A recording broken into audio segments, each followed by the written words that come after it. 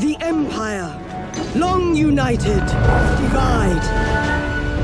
A great dynasty burns, and tyrants rule over the ashes.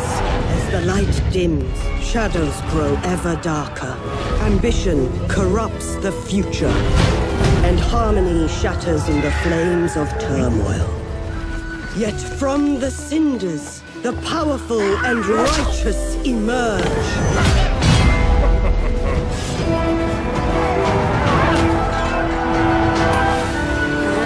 destiny be shaped by its champions.